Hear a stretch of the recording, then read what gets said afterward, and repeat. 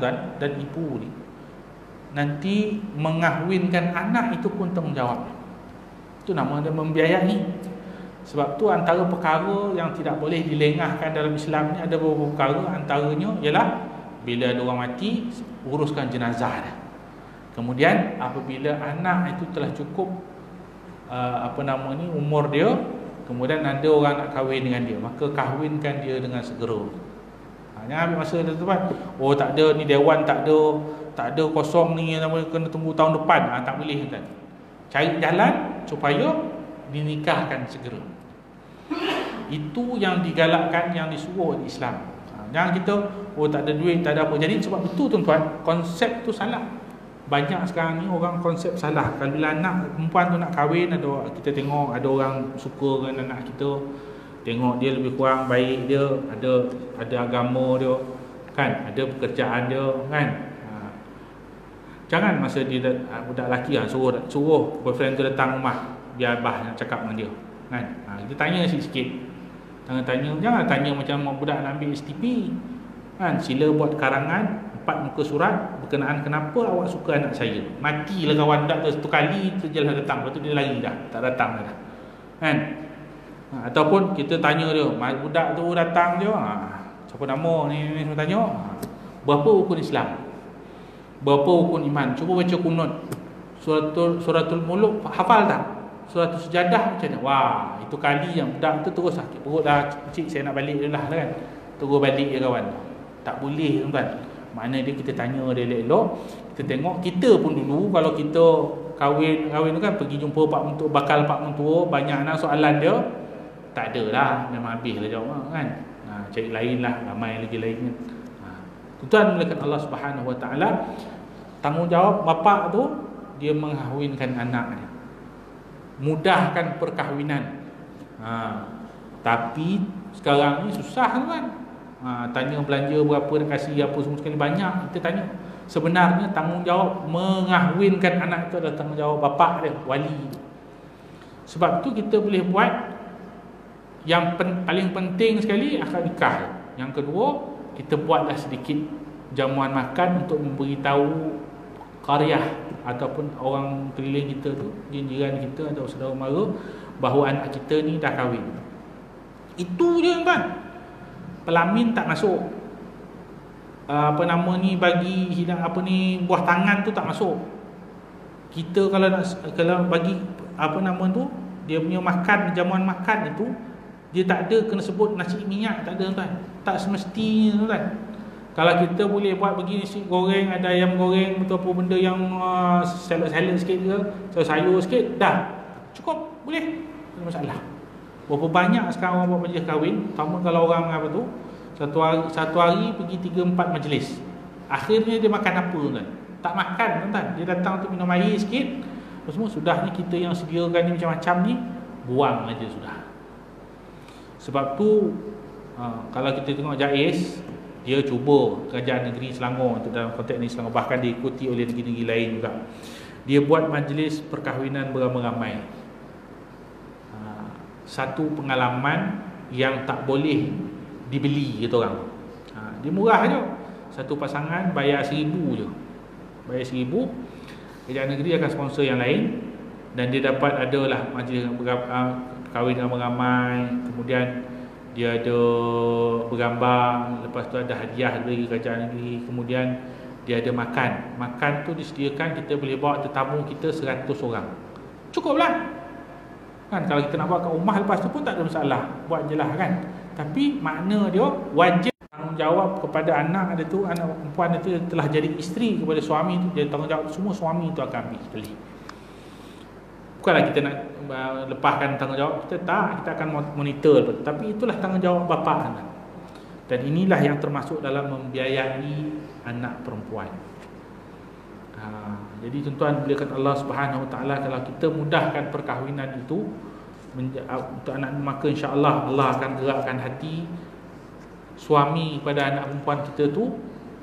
Dia jaga juga anak kita tu baik macam mana kita kita jaga tapi kalau kita susahkan dia Maka terpaksa berhutang macam-macam itu begini. Dan kita juga kena senasihatkan anak kita.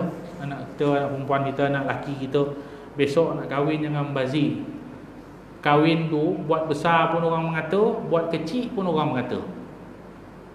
Kan? Ha, Kalau buat besar orang kata membazir Kalau buat kecil orang kata kedekut. Jadi kita buat ikut kita je lah.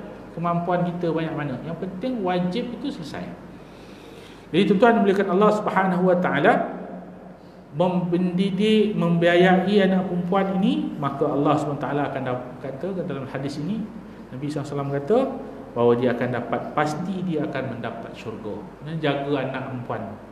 Sebab itulah bila kita jaga anak perempuan kita insya-Allah elok yang mana di, yang dibenarkan oleh syarak kita buat semua sekali yang disuruh oleh syarak kita buat semua sekali maka insya-Allah kita akan dapat masuk syurga Allah Subhanahu Wa Taala berkat daripada kita jaga membiayai anak perempuan itu. Penting ni tuan-tuan. Ha. Kalau kita nak tengok generasi akan datang, kita tengok kepada kaum perempuannya. Baik kaum perempuan, kaum itu generasi dia insya-Allah akan jadi baik. Sebab semuanya akan bermula daripada daripada ibunya. Ha, yang jaga daripada daripada kecil lagi. Ha, lahir je, dia sebelum lahir lagi dia telah dijaga oleh ibunya dengan baca Qurannya dengan begitu begini maka anaknya akan jadi akan jadi sebagaimana didikan ibunya. Tuan-tuan melihatkan Allah Subhanahu Wa Taala kemudian kepada hadis yang ketiga yang seterusnya iaitu hadis yang ke-63 yang ini berkenaan dengan memberi salam. Sabda Nabi sallallahu alaihi wasallam yang berbunyi la tadkhulunal jannah hatta tu'minu wa la tu'minu hatta tahabbu awala adullukum ala syai' idza fa'altumuhu tahabbtum afshus salam bainakum. Atau kama qala Rasulullah SAW yang bermaksud kamu tidak akan masuk syurga kecuali jika kamu beriman. Kamu tidak dikira beriman kecuali jika kamu saling kasih berkas saling berkasih sayang hendakkah kamu jika aku tunjukkan sesuatu yang apabila kamu melakukannya kamu akan saling berkasih sayang? Iaitu sebarkanlah ucapan salam di antara kamu. Hadis riwayat Muslim Hadis yang ke-194 Kita sambung lepas azan Kita bagi lalu untuk azan InsyaAllah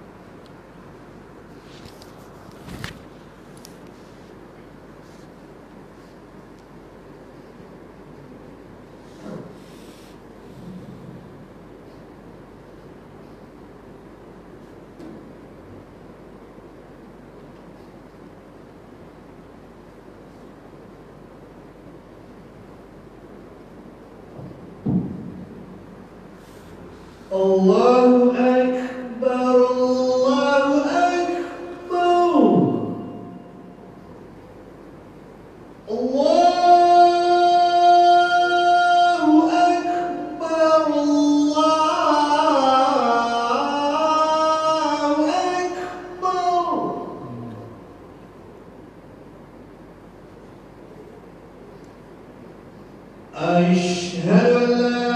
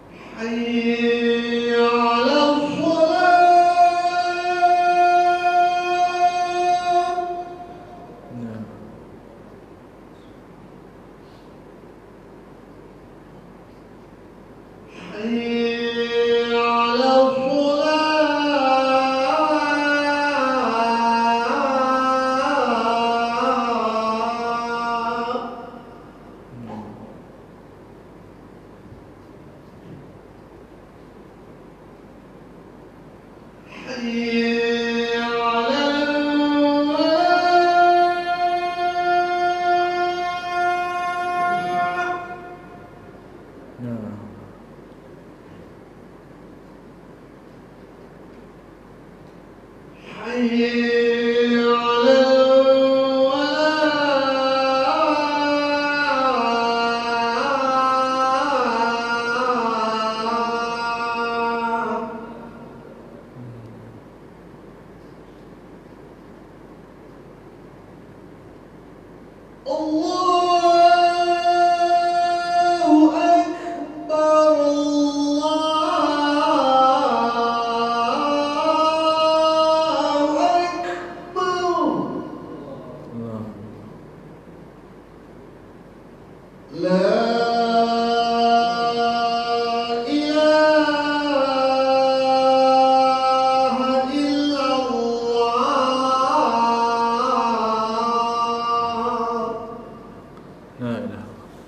Illallah.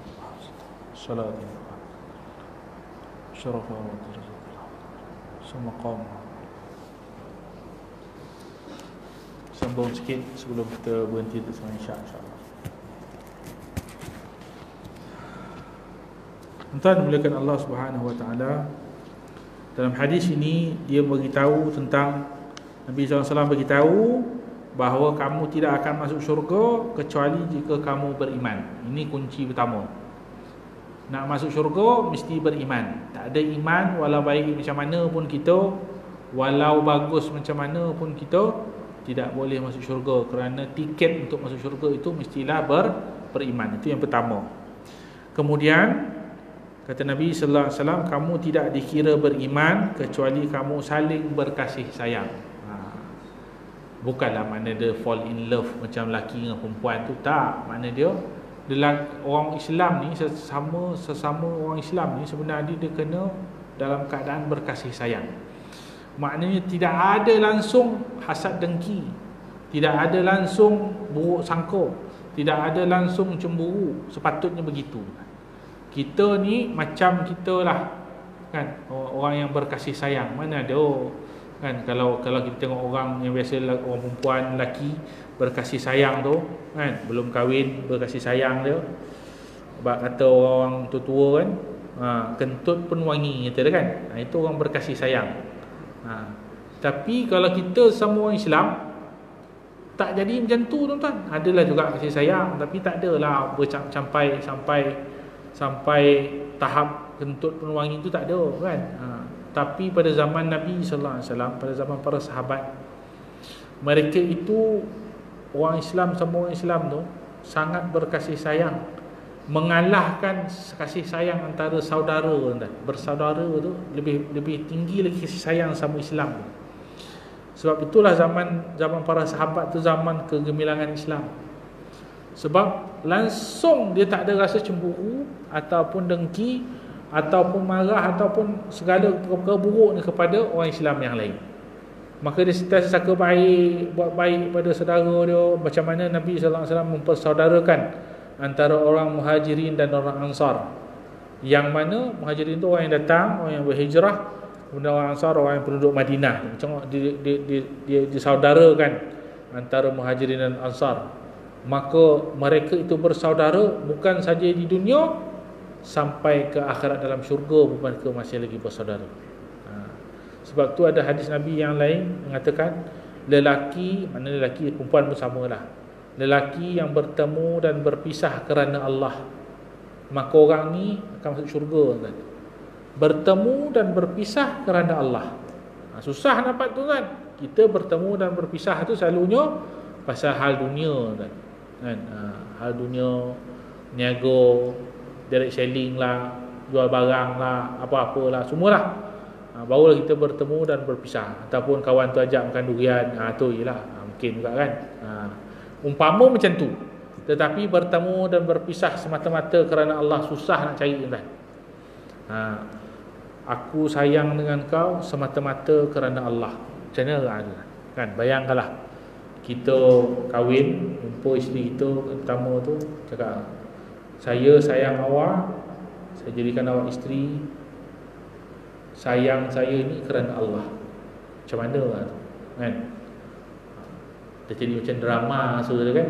Ha, Kalau dia cakap macam tu kan? Dalam drama je ada benda macam tu. Kalau hari biasa ni tak ada cakap ni. Kan, Balik rumah ni kan? Suami ni balik rumah Isteri dia tak ikut di masjid je ni kan? Ha, Suami balik rumah Dengan ustaz cakap dia ni Dia pun cakap dengan soal isteri dia. Yang Abang sayang awak ni Kerana Allah Kan bertemu dan berpisahnya kita kerana Allah. Ni abang ambil daripada drama mana ni kan? Mesti dia tanya kita balik. Kan? Tuan bila Allah SWT susahnya kita nak cakap kerana Allah. Jadi tuan bila kata Allah SWT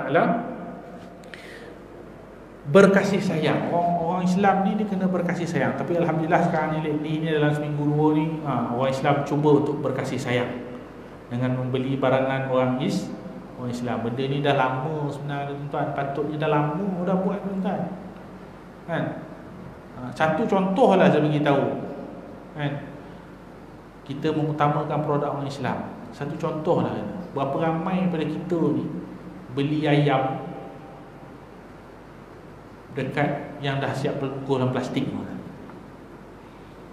dengan kita sembelih sendiri ayam ataupun oh, kita nampak depan mata kita orang tu sembelih Berapa ramai kita ha. Sedangkan ayam tu sekarang ni Ayam ni antara makanan yang Kita akan selalu makan lah, kan? Sebab ayam je murah Seekor tu boleh potong 10 Boleh potong 8 Boleh potong 12 kan? Jadi ayam yang murah Bila kita beli yang tu Adakah kita beli tu daripada Betul kita ada yang tanda halal tu. Alhamdulillah. Saya belajar halal tu kan bila kita tengok kita buat memang halal jakib ni sangat ketat. Cuma bila orang yang jual itu orang yang produce benda tu dia tak datang ketat itu sekali dengan iman dia. Bila tak ada iman kat situ tuan dia boleh juga cuba me, menipu. Dia buat dekat kilang dia tu semilih ayam 2000 3000 ekor ayam itu memang ikut peraturan tu. Tapi sebenarnya dia supply dalam market ada 10 ribu. 7 ribu lagi dia supply dia, dia, dia buat kat mana? Ada buat kilang yang tak diklaim. Ha, ini ada ada sumber-sumber lah nak dikenesahkan juga. Tetapi banyaknya begitu. Sebab apa? Kat situ dia tak payah nak buat betul-betul. Kalau ikut saya pernah pergi ke tempat kilang sembelih ayam kan prosesan ayam 15 ribu ekor satu hari dia sembelih. Ayam tu tuan dia punya prosedur dia tu sangat ketat ayam tu sampai naik lori naik lori Kemudian ayam tu dia turunkan lori tu daripada lori tu dia kena tenangkan ayam tu dulu. Siram air. Silam kan. Sebab tu ayam ni kalau ayam nak hantar ke uh, tempat-tempat proses ayam ni, ayam hidup ni, dia jalan waktu malam supaya dia sejuk sikit. Kalau ayam tu buat siang-siang panas-panas tu lalu ayam tu setengah pada ayam dalam lori tu mati dah. Panas lah. Jadi dia buat malam. Tu pasal selalu lori ayam kalau sampai dekat pasar ataupun tempat proses ayam ni di awal pagi dia sampai. Pukul 2 3 pagi tu sampai. Jadi sampai ayam tu disiram ayam tu. Supaya ayam tu tenang. Bila ayam tu tenang baru dikeluarkan ayam tu dia tengok ayam ni. Ayam ni hidup ke atau hampir mati ke atau macam mana? Dia tengok condition ayam. Ayam tu dia mesti sesuai untuk disembelih. Barulah dia ambil ayam tu digantungkan ayam tu kaki dia ke atas. Dia, dia ada macam ada macam uh, railing tu. Semua ayam dia pakai. Jantung satu satu satu satu satu satu. Ayam semua pasti daya hidup. Lepas tu dia jalan. Jalan dalam tu sebelum sebelum dia sembelih ada tukang sembelih dalam tu. Kawasan tu berhawa dingin mana dia sesuai temperature dia sesuai. Ya ayam semua hidup. Gantung golek itulah ayam tu gantung tu dia bergerak lah. Lepas tu dia akan celup ayam tu dia nama dia uh, Stunner Stunner Dia akan celup ayam tu Dia, dia railing tu Dia akan turun tu Celup kepala ayam tu. Satu Stunner tu dia Untuk ada, ada, ada dia punya Aliran elektrik yang dilalukan Yang mana ayam tu dia kena tu akan lemah sikit. Tapi tak mati Dia lemah sikit. Sebab tu ayam tu kena check awal-awal lagi. Jadi dia celup tu Ayam tu akan lemah dan lepas tu baru dia akan ada lepas tu orang akan sembelih. Sembelih orang tukang sembelih ni dia ada shift dia. Satu hari tiga ke empat shift.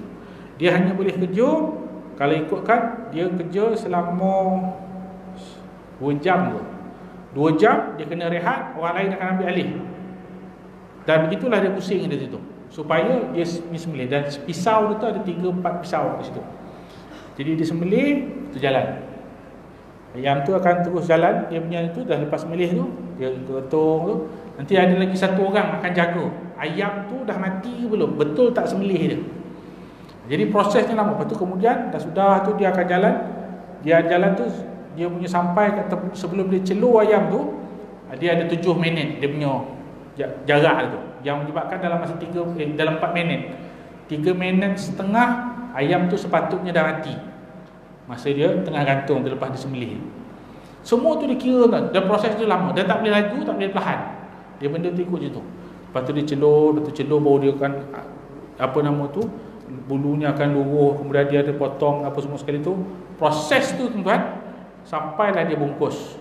Jadi proses tu ma- makan masa lama Satu ekor ayam tu Dia daripada start dia masuk uh, gantung sampai tu Lebih kurang dalam 10 ke 10 minit lah. Tu Sampai di hujung dia boleh masuk dalam Dalam plastik untuk letak dalam Dalam freezer.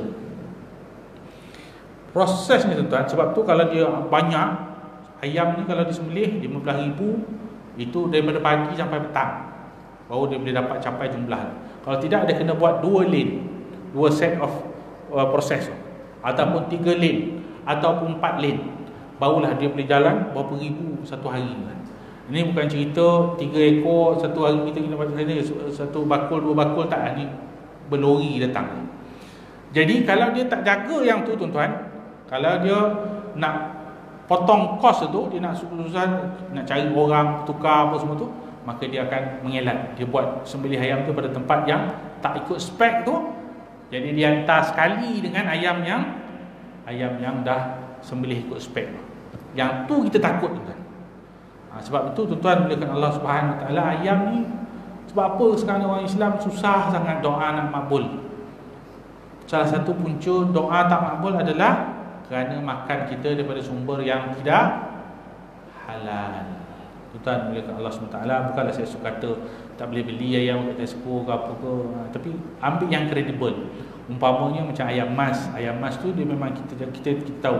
Bahkan ayam mas ni dia jadi contoh kepada yang lain-lain. Kemudian ataupun ayam-ayam yang Ayam-ayam yang uh, Sekarang ni ada banyak. Ayam delima ada Ayam Ni mahal sikit lah daripada apa. Tapi ayam tu dipastikan proses dia. Orang yang buat tu orang Islam Yang apa nama ni uh, Yang punya kilang tu orang Islam Dan pekerja dia pun orang Islam. Sebab jahat-jahat orang Islam pun tuan Kan? Dia takkan sanggup bagi orang lain makan bang Bangkai. Kan? Jahat-jahat orang Islam lah Sebab ada iman lagi kat dalam hati dia. Kan? Berbanding dengan pekerja asing yang semelih tu bukan kira dah Tokek bayar gaji Dia apa? Jalan. Jalan Jalan. Ha, Jadi kalau satu ayam tu mati Tanpa Tanpa Sembelih dengan nama Allah pada dia Maka dia ayam jadi bangkai Kalau orang meniaga Satu lori tu ada 200 ayam dia mati Daripada 10 ribu Atau 15 ribu ayam yang sembelih tu 200 Tak betul sembelih. Rugi tak rugi? Rugi kan Dia tak nak tu. Kalau 10 ekor boleh lah Jabu kot. Ha, Jadi tetap juga dia proses. Siapa tahu? Ha, Sebab tu kalau ikut-ikut eh, yang jakim ni memang ketat tuan Saya tak dapat nafikan memang tu Saya belajar benda tu. Dan memang ketat. Jadi bila orang yang tak ada iman pada dia Dia akan mengelak-ngelak kat mana. Dia akan cari jalan untuk mengelak tu Supaya dia tidak tidak rugi. Tuan-tuan bila Allah SWT kena jaga. Jadi Alhamdulillah sekarang ni Untuk sementara ni lah Yang nganti, nganti ayam ni lah kan. Ha, Janganlah macam tu. Beli barang yang daripada orang Islam. Sebab itulah kita bukan saja halal Kita nak cari produk orang Islam. Ha, Itu yang mana dia Jadi teruskan. Kita bukan nak boykot yang lain tu. Mana nak beli kereta, beli tayar ke beli apa tu belilah. Tak kisahlah orang bukan Islam pun. Kita dahulukan produk orang Islam. Mungkin mahal mahal sikit RM3 mahal tu. Tak apalah tuan-tuan. Kita fikir mahal RM3 daripada doa kita tak diterima baiklah kita bayar mahal RM3 dan kita yakin dan kita apa nama ni makan benda yang betul-betul kita yakin tuan-tuan mulakan Allah Subhanahu Wa Taala. Jadi Kata dalam hadis Nabi sallallahu alaihi wasallam ini memberi salam, perkara yang untuk menyebabkan kita selalu berkasih sayang kita banyaklah memberi memberi salam. Bila menjawab salam itu wajib memberi salam itu adalah su sunat. Nak mulakan salam tu yang susah. Ha, berapa ramai kita sini yang bagi salam pada orang yang bukan kita kenal berapa ramai kan? Ha, susah kan saya biasa kalau berhenti hari tu pergi pergi ada kursus dekat apa nama ni kat uh, Polisen kemudian berhentilah R&R kan? Bila kita nak keluar dari kereta nak pergi pergi surau ke apa dalam perjalanan tu kan ramai-ramai orang kadang orang cuba kita bagi salam orang Assalamualaikum. Dia pun tengok kita salam. Ha, dia bulat mata dia. Kita pula bagi salam tangan tangan salam kan dia kita pernah jumpa kata kan? Ha, macam tu. Susah kan ha, kita lepas ni boleh try amal. Pergi dekat Tesco kan. Masuk je tu. Jumpa orang Islam nampak orang orang Islam kan. Orang muka orang Islam. Ha, orang Melayu. Assalamualaikum. Dia senyum kan. Salam. Dia mesti muka dia bulat dia tengok. Sebab kita tak biasa. Kan? Eh kita pernah kenal ke? Kita pernah jumpa ke sebelum ni? Kan? Apa? Kan takut dia kan? Ha. sebab ada tapi bila kita bagi salam dia jawab salam dia tanya kita kita pun jawab ter, terjadilah silatur silaturahim. Kan? Ha, mungkin masa tu tak ada apa tak ada. Saya kita bagi salam. Ni orang Islam. Okey nanti satu kali nanti dua tiga kali lepas tu beberapa hari pun kita terjumpa dia kita bagi salam. Ha, masa tu dia dah kata wah itu yang bagi salam itu kan? Ha, itu yang bagi salam. Dah, kita dah ada kita dah ada silaturahim tuan-tuan bila Allah SWT? Itulah sebenarnya untuk menyebarkan kasih sayang antara orang Islam. Sebabnya bila kita bagi salam kita mendoakan dia dengan kebaikan. Salam sejahtera atas kamu. Kita doakan dia.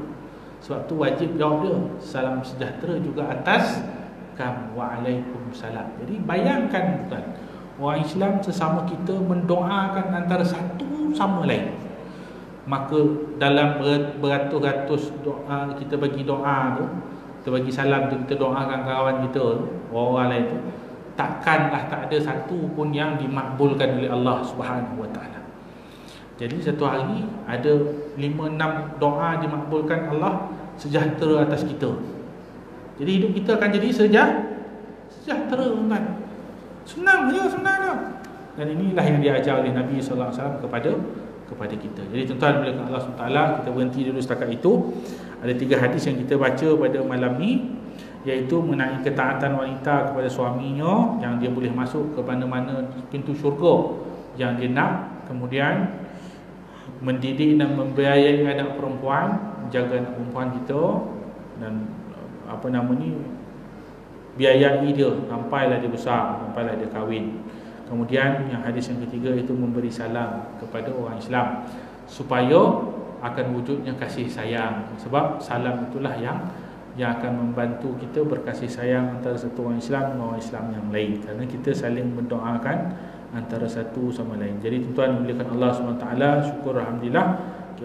Mudah-mudahan Allah SWT bagi kita kefahaman atas apa yang kita dengar pada malam ni kefahaman dan bagi kekuatan kepada kita untuk kita dapat amalkan dan juga kita sampaikan kepada orang yang tak ada dalam majlis ini insyaAllah dan juga saya mohon maaf atas salah silap kerana saya ini manusia juga dan mungkin ada salah cakap saya, salah perkataan saya, salah syarah saya yang baik itu datang daripada Allah Subhanahu Wa Taala, yang buruk itu datang daripada kelemahan diri saya. Saya mohon maaf, mohon ampun kepada Allah Subhanahu Wa Taala. Mudah-mudahan Allah ampunkan saya dan tuan-tuan dan puan sekalian dan mudah-mudahan Allah akan kumpulkan kita besok dalam syurga Allah Subhanahu wa taala insyaallah. Kita tutup majlis kita dengan tasbih kifarah dan suratul as. Subhanallah hamdihi subhanakallahumma wa bihamdika asyhadu an la ilaha illa anta astaghfiruka wa atubu ilaik. Bismillahirrahmanirrahim. Wal 'asr innal insana lafi khusr illa alladhina amanu wa 'amilus solihat wa tawassaw bil haqq tawassaw bis sabr. Wabillahi taufiq wal hidayah. ورحمة الله تعالى وبركاته.